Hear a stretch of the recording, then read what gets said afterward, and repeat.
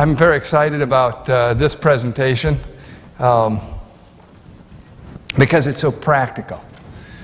And uh, um, I want everything to be practical, something you can use in life. So let me give you a brief over overview to orient you to our study this afternoon. First, we want to look at a common clinical example. Then, we'll look at an actual case study involving a friend of mine. And third, we'll have a brief overview from the neuroscience and the most important areas of the brain that make us who we are as individuals. And lastly, we'll turn to the inspired sources Christians have been provided to gain profound and important insights into the mind. Our inf information this afternoon is not simply interesting and optional. This information involves our eternal destiny. Our habitual choices determine who we are as individuals and where we will spend eternity. Jeremiah 21 8 Now you shall say to this people, Thus says the Lord, Behold, I set before you the way of life and the way of death. Let's pray. Father in heaven, we're so grateful that we can study your word and we can study your word in science. And help us to understand and begin to apply these important principles that can be so helpful in transforming our lives and transforming our families. In Christ's name we pray. Amen. Physicians are interested in diagnosis. We listen to patients' complaints. We ask focused questions. Then we perform a directed physical examination. Finally, we order appropriate diagnostic, radiographic, and lab studies to confirm our impression. But just as there are diseases of the body, there are diseases of the soul. And whether or not we are medical physicians, all Christians are physicians of the soul.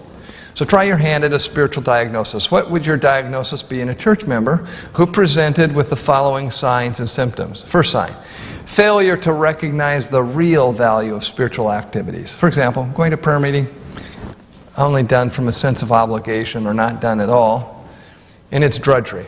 At the same time, the member shows attention and interest in secular topics in meetings. A second sign a church member is able to get to work on time every day but can't make it on time to Sabbath school. Uh, third sign the member has time for news, internet, hobbies, but little time for Bible study and prayer. Fourth sign you observe is that though the member was once evangelistically active, his evangelistic fervor, zeal, and enthusiasm for present truth seems to be waning. And while the member may have lively discussions on sports and politics, the member doesn't say much about the Bible or eternal life to coworkers, fellow students, family, or friends. The fifth uh, sign you note the member avoids reading portions of the Spirit of prophecy, listening to convicting sermons, and avoids spirit filled Christians because this gives them a feeling of guilt. However, counterintuitively, this is associated with the temporary false peace that people get whenever they give up the battle against self. Peace has come because they are now getting their way. This is the false security of Laodicea who say, I am rich and increased with goods and in need of nothing, and do not recognize that they're wretched, miserable, poor, blind, and naked. Other signs include frequent disagreements and arguments with the member's spouse or family members. The home is not a peaceful place, there's strife and contention. The member complains and criticizes and has few expressions of gratitude and thankfulness. The member is often impatient with the spouse and family members and may make unkind, rude, and cutting comments to others. These may be accompanied with increasing immoral desires, and there's a bondage to addictions. Attempts to hide these addictions emerge with a double life of deception and hypocrisy. Fits of anger occur with loss of temper. This is accompanied by a rejection of authority. Can you recognize and diagnose the following two common symptoms in a member? Do you know the most common cause of this disorder? And do you know how to administer the only known curative treatment for this otherwise spiritually fatal disease? Recently, a close friend of mine developed apparently minor changes in behavior. This individual has been a pattern of dependability but get, began to forget appointments. And their dress, which had always been impeccable, became, became a little uh, sloppy. Other changes were minor but their importance was not recognized until this last Thanksgiving when my friend was with his uh, family for Thanksgiving. And uh, this friend was a very reverent, godly person. But when the prayer was made, didn't, didn't even stop while the prayer just started immediately, just eating while they were praying. And when the brother saw that, he knew something was wrong, stopped the meal, and they took him to the emergency room. An MRI was noted, ordered, but before I show you my friend's MRI, I want you to see a normal MRI. Now, I have permission um, to share all this with you. A very large malignant tumor was found in that left frontal lobe. This explained the behavioral changes. This is the MRI after his urgent sur surgical procedure, which, as you see, um, took out all of the uh, tissue in that area. It's all blank now. Frontal lobe deficits from disease, surgery, medications, or injury vary from subtle to profound. They can be very subtle or so severe as to completely change the personality.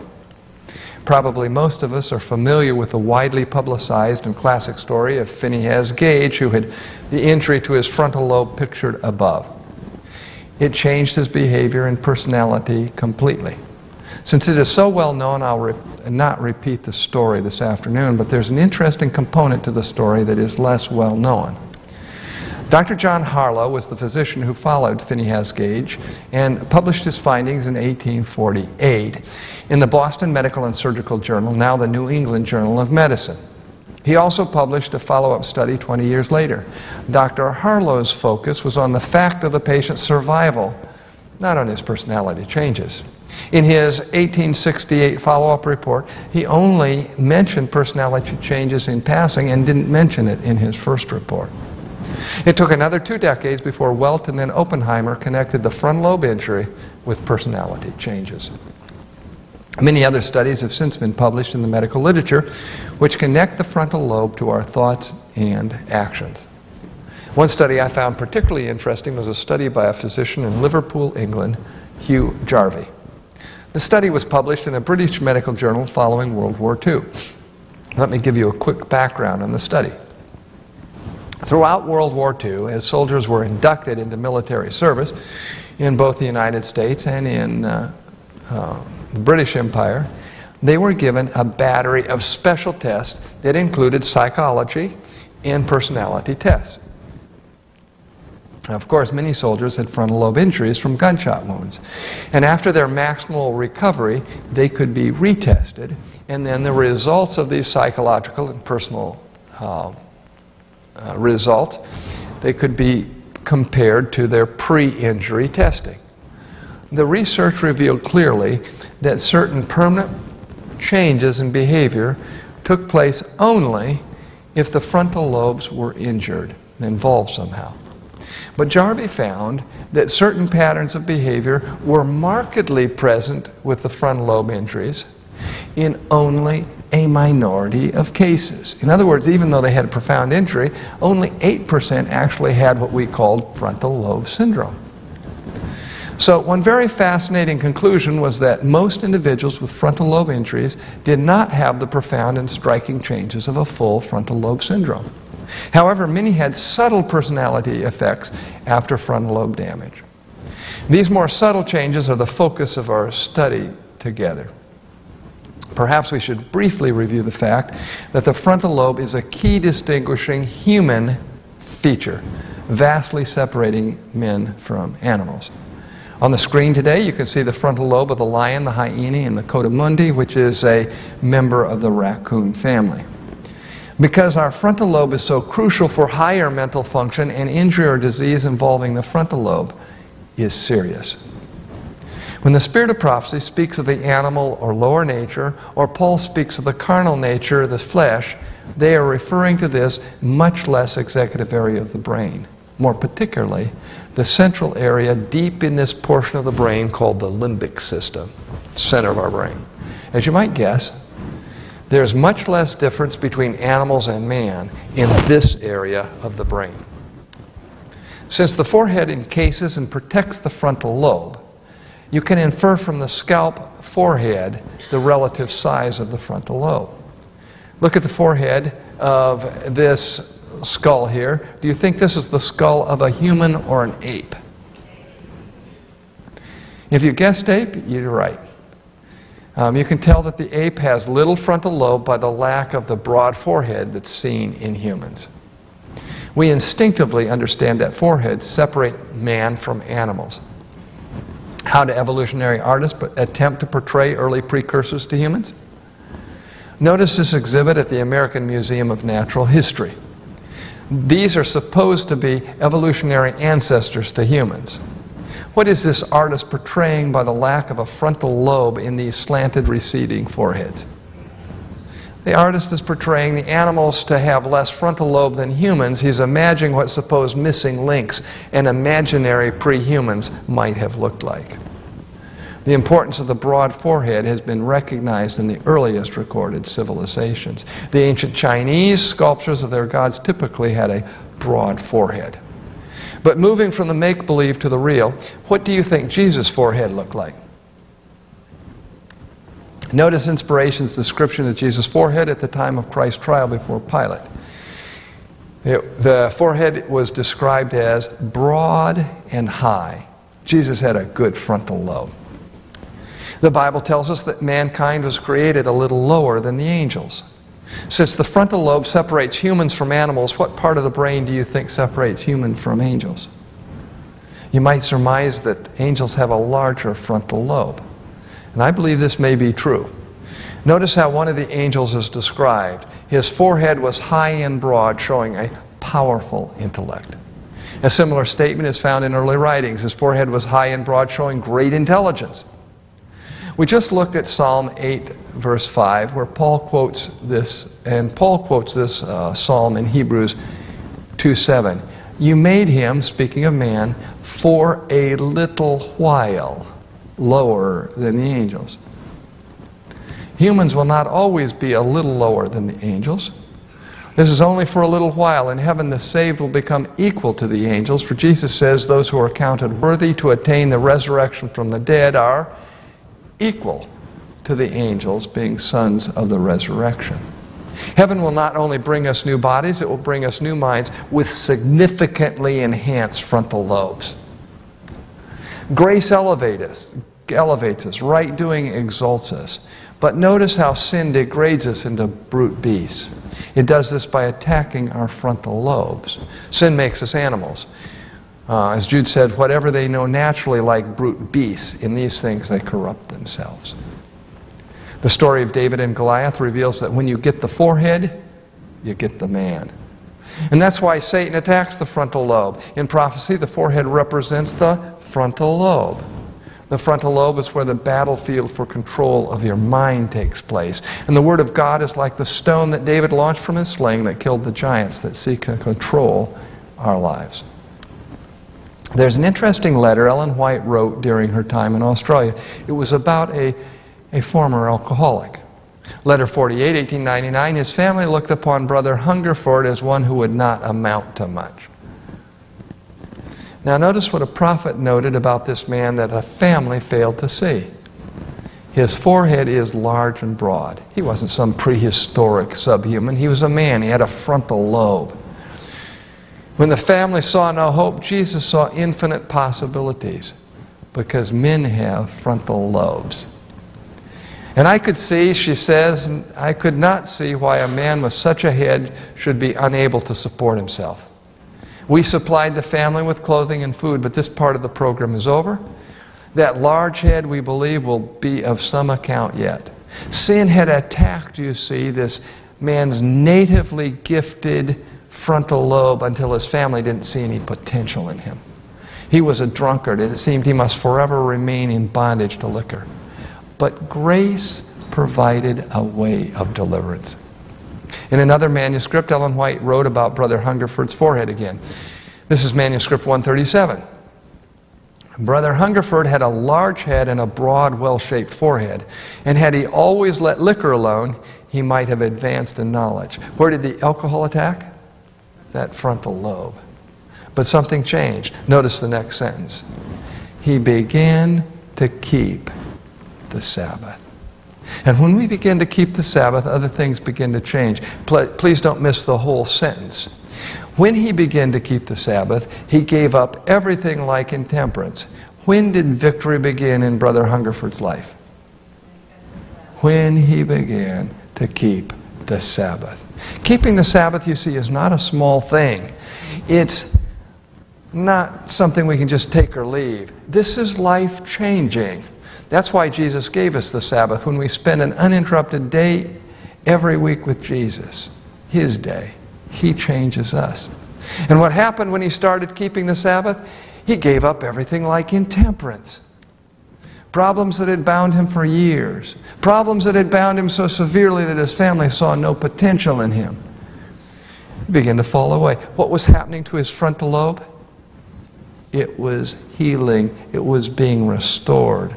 The seal of God was being placed on his forehead. What is the seal of God? It's the Sabbath. And where is it placed? Seal of God? On the forehead. What does the forehead represent? The frontal lobe. This is not simply an abstract idea in the Bible these things change us, the Sabbath changes us at the cellular level of our frontal lobe. He was thoroughly converted and said that he hardly knew himself, so different was he from what he used to be. Now, the bad news is that when we sin, the frontal lobe is damaged and we're changed. The good news is that when we respond to the gospel, God begins to restore the frontal lobe and we are changed again. We become new creatures. Keeping the Sabbath changes us, for it places the seal of God on our foreheads. It takes more than a daily short period of devotions. It takes more than an hour at church each week to change us. We need a full day each week of uninterrupted time with Jesus to restore our manhood, our womanhood, our humanhood. The grace of God that appears to all men gives us the power to deny ungodliness and worldly lusts and enables us to live soberly righteously and godly in the present age. Let's look at one more example Moses and Aaron. Their life, we're told, had been spent in unselfish labor for God and their fellow men. Their countenances gave evidence of great intellectual power, firmness and nobility of purpose, and strong affections.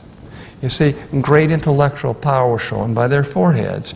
They had surrendered this to God, and this frontal lobe surrender showed up in facial expressions. You see, our facial expressions are wired our frontal lobes. Let's look again at the frontal lobe. This is where the executive functions of the brain occur. The executive functions are such things as motivation, planning, and social behavior. They are also the seat of judgment and the home of the will. It is the frontal lobe that gives us our interest in spiritual things. The frontal lobe has to do with conscience, the ability to differentiate right from wrong, selflessness, recognition, and appreciation of goodness, the desire to do right, and a hatred for evil. When we damage our frontal lobe, these executive abilities and functions of the brain are diminished. And God designed the helmet of salvation to protect our frontal, our foreheads from the assault of Satan ministry of healing, indulgence in any unhealthful practice makes it more difficult for one to discriminate between right and wrong, and hence more difficult to resist evil. The earliest studies of the frontal lobe were limited and failed to take into account the importance of the rest of the brain in these functions. Today, however, leading neuroscientists acknowledge that there's a wider brain involvement in frontal lobe problems, and what yesterday was called the frontal lobe syndrome is today often called dysexecutive syndrome. Here's an atrophied frontal lobe. This is from a disease called frontal lobe degeneration. This case was from a 61 year old former dentist.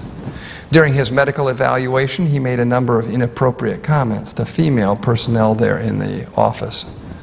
His wife stated, He says things he never would have said before. I guess his personality just changed. And you should see how he goes for sweets now.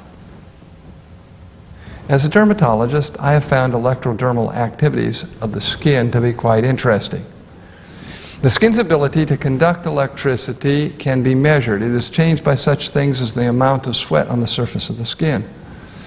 Researchers have looked at this electrodermal activity. Dr. Theodore Zahn and a team at Northwestern University Department of Physical Medicine found that those with certain types of frontal lobe damage did not have a normal response to words or pictures compared to those without the frontal lobe lesions.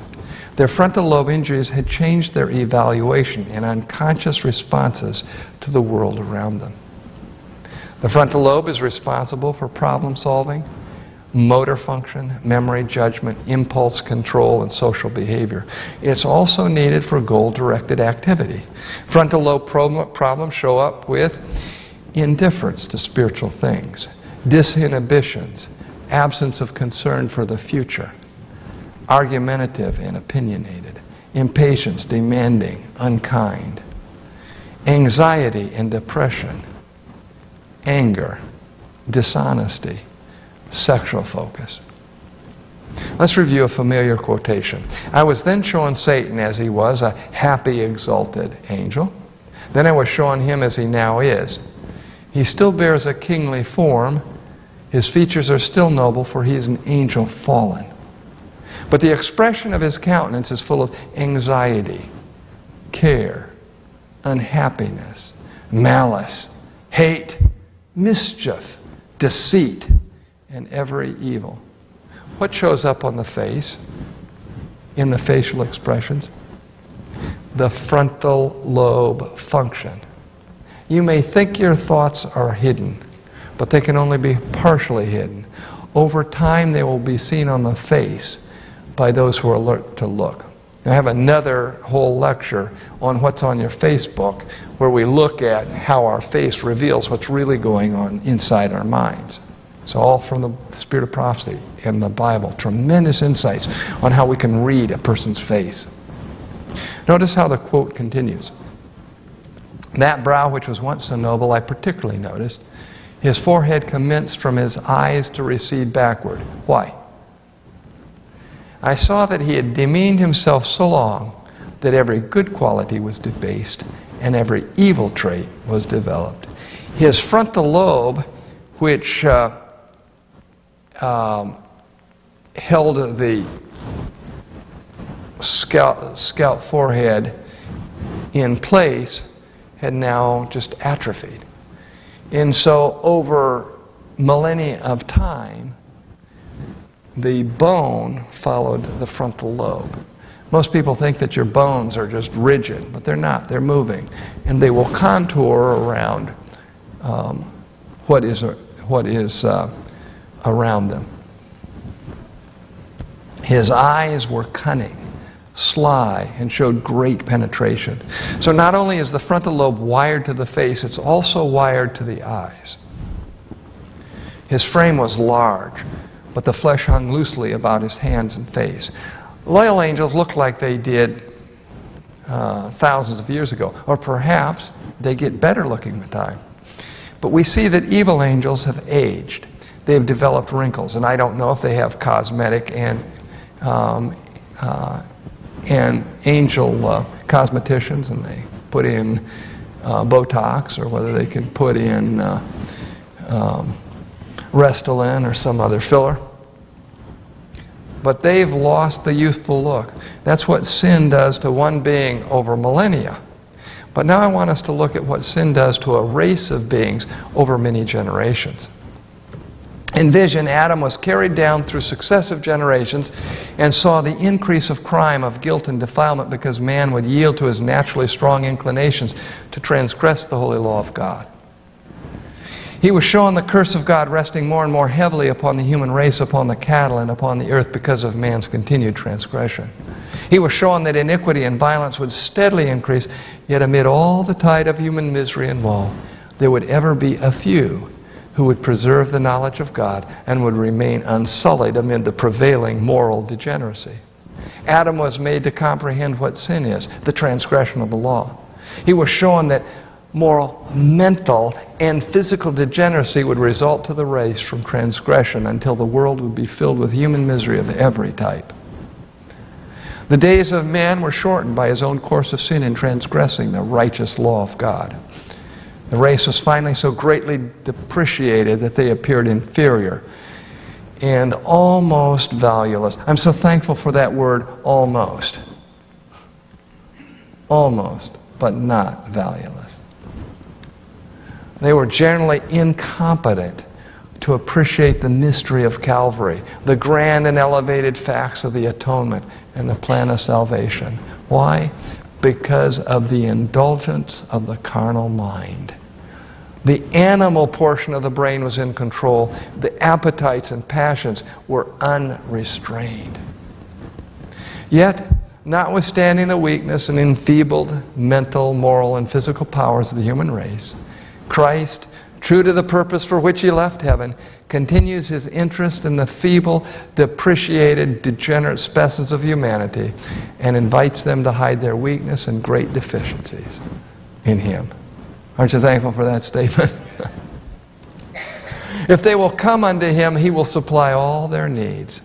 And this final generation, that is the exhibit A for what sin does to deprave humanity, will be exhibit A for what the cross does, what grace does to uplift and restore humanity. Satan is battling God for the control of our frontal lobe. We should look at Satan's method and plan of attack. Manuscript 3, 1897. Speaking of Satan as he was listening to John the Baptist introduce Jesus, Satan's ear caught the words spoken by John the Baptist Behold the Lamb of God that taketh away the sin of the world. And he determined to unite all the power of his army and of human beings with himself to accomplish the ruin of the race. He would commence with the appetite. Where did he begin with Eve? His battle plan has not changed with us. And he could bring his temptations to bear upon this point and by a perverted appetite destroy the mental and physical force and make men appear a revolting, polluted being before his maker. And Satan has carried out his purpose. Researchers from the University of North Carolina's Gillings School of Public Health, Global Public Health, have found that 88% of the United States adult population is metabolically unhealthy. 88% of adults here in the U.S. have one or more abnormalities in the following five indicators blood glucose, close, triglycerides, high density lipoprotein cholesterol, blood pressure, and waist circumference. If adults can maintain optimal levels of these indicators without medication, they're deemed metabolically healthy but only 12% of adults in the United States are completely metabolically healthy. Abnormalities in these metabolic health indicators are principally diet related, although genetics, accidents, and disease is the cause for some. What does this information mean? It means that a vast proportion of the adult population in our country is at great risk of developing diabetes, heart disease, stroke, cancer, and other dangerous health conditions. This means pain, disability, financial stress, premature aging, and early death. But there is something far more serious self inflicted dysexecutive syndrome. Christ uh, Counsels on Health, 577. Eating has much to do with, and what's the next word? With religion. The spiritual experience is, what's the next two words? Greatly affected by the way in which the stomach is treated. Eating and drinking in accordance with the laws of health promotes virtuous actions. Virtue is the first action of faith in Peter's ladder of Jesus to Jesus. And our diet can determine how easily this ladder can be climbed and even whether it will be climbed. A prophet explains how this works. But if the stomach is abused by habits that have no foundation in nature, Satan takes advantage of the wrong that has been done and uses the stomach as an enemy of righteousness. Satan understands the relationship of our eating to our virtue. He seeks to keep ignorant, to keep us ignorant of this device he has successfully used through the six millennia of Earth's history. The stomach can create a disturbance which affects the entire being. What are the results? The quotation continues Sacred things are not appreciated. Spiritual zeal diminishes. Peace of mind is lost. There's dissension, strife, and discord. Impatient words are spoken, and unkind, unkind deeds are done. But it gets worse. Dishonest practices are followed, and anger is manifested. And all because the nerves of the brain are disturbed by the abuse heaped on the stomach. With this background, let's recheck it, the, uh, relook at the clinical case we saw at the start of our study. The member finds that church activities, meetings, are less interesting than secular topics and meetings. And though the member is always on time for work 8 a.m., the member finds it hard to make it to Sabbath school at 9.30 or maybe even to church at 11. The member has time for internet news, hobbies, sports, but little time for daily Bible study and prayer. Though the member easily thinks and speaks of sports, politics, or other secular topics to others, the member seldom thinks or speaks of God in the home or at work. The member finds that reading the Spirit of Prophecy brings feelings of guilt. The member experiences anxiety and may have periods of depression. The member has frequent complaints, is critical and unthankful. There's dissension in the home and frequent arguments. The member is impatient with his spouse and family and makes unkind and cutting remarks. The member experiences immoral desires, thoughts, practices, and is in bondage to addictions, which the, a member attempts to hide and is deceptive about. The members' church attendance and church activities are hypocritical attempts to hide the pollution of the soul. There is an anger problem and a rejection of authority. These are the symptoms seen in a malfunctioning frontal lobe, as we've seen, compatible with mild dysexecutive syndrome. This is common in the church. Let's look at a few specifics. Those who indulge in meat eating, tea drinking, and gluttony are sowing seeds for a harvest of pain and death. The unhealthful food placed in the stomach strengthens the appetites that war against the soul, developing the lower propensities. These habits are attacking the frontal lobe, you see. They weaken it while strengthening the limbic system. This also helps us to understand the next sentence. A diet of flesh meat tends to develop animalism. That's another way of saying this diet is weakening the frontal lobe and strengthening the limbic system. A development of animalism lessens spirituality, rendering the mind incapable of understanding truth. Now, what is truth? Jesus, I am the way. So this means the mind becomes incapable of understanding Jesus. Notice the word incapable. Truth is the most important thing for us to understand. Since Jesus is the truth, this makes the mind incapable of understanding the truths about Jesus from Jesus. This makes it impossible for the mind to be free, for it is knowing the truth that sets us free. John 8 32. The Bible points to the diet of the Jews as the major reason they rejected Jesus. Their table became a snare and a trap. They stumbled over the denial of their appetite. This made them incapable of seeing and recognizing truth. Their frontal lobes were not functioning properly, and they were unable to recognize and appreciate the Messiah when he walked among them. Notice the words of Paul. David says, Let their table become a snare and a trap a stumbling block and a retribution for them. Let their eyes be darkened so they cannot see. This is a serious issue. The salvation of our souls are at stake. Just as what Eve fixed Adam for lunch brought the loss of Eden to the first couple, what we eat can determine whether we lose heaven. Many who are now only half converted on the question of meat eating will go from God's people to walk no more with them. Why? Because they couldn't understand him who was the truth.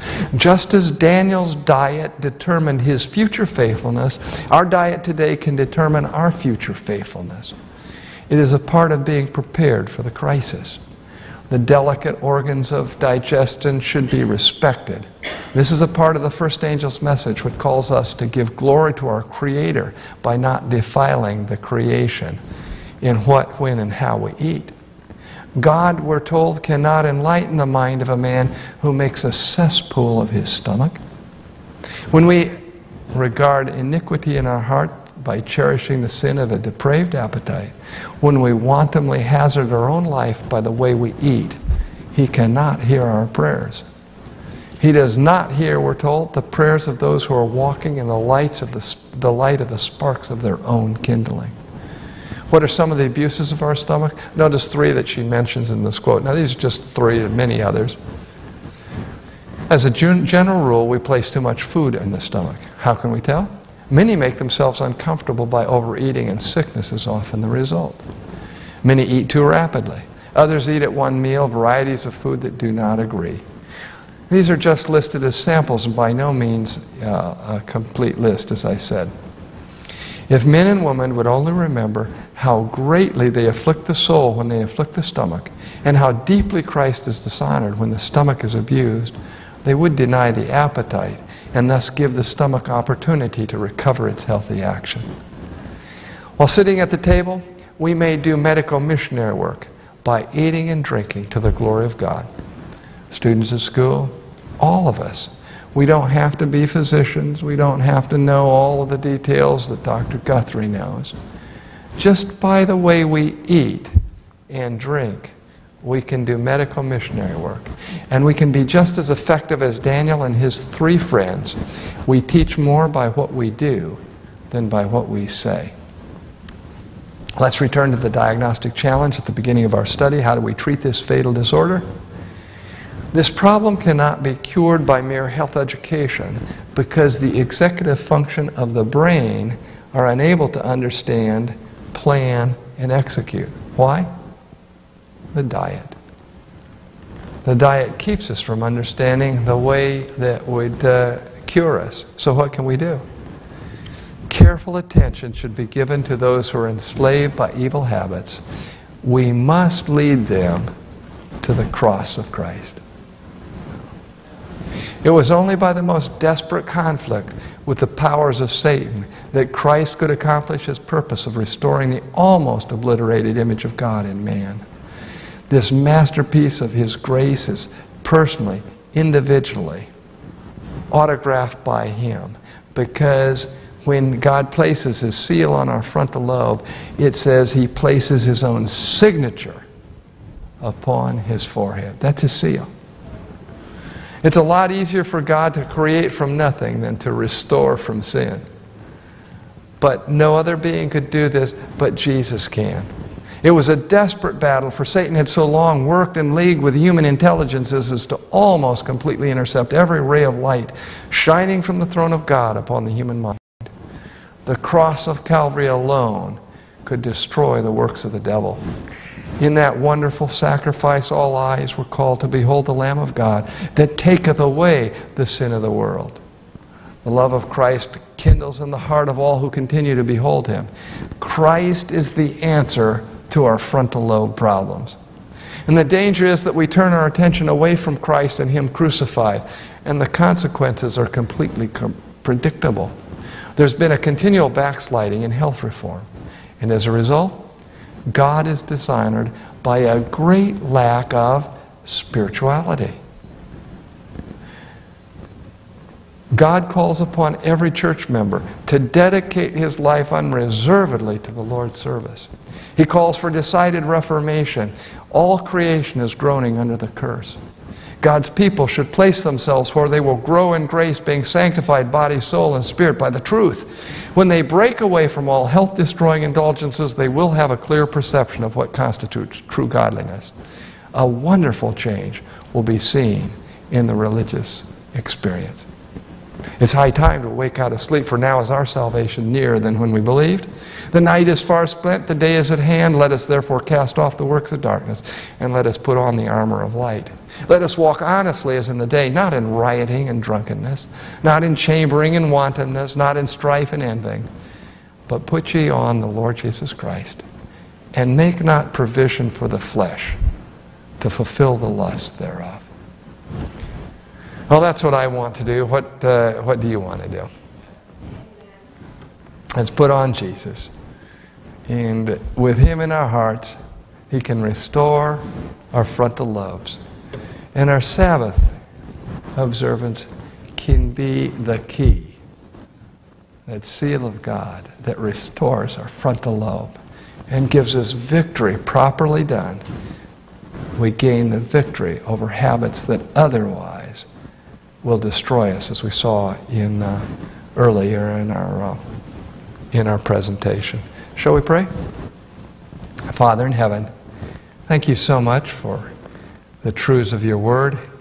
We're grateful that um, even though we're pretty worthless, so almost worthless, you still can find that portion and make us worthy by restoring through your marvelous touch the function of our minds, restoring to us our manhood, our womanhood. I pray that you'll go with each of um, my new friends here. Pray that you'll bless this church. That you'll send your Holy Spirit. And uh, may there be an earnest and daily walk with you in a study of Scripture. In Christ's name we pray. Amen.